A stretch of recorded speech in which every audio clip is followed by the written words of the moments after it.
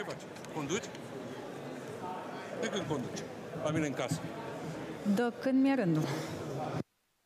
Doamnelor și domnilor, liderii de grup, vă rog să vă invitați colegii. Vă rog să-mi permiteți să declar deschisă ședința comună a Camerei Deputaților și Senatului, consacrată mesajului președintelui Parlamentului European, doamna Roberta Metsola.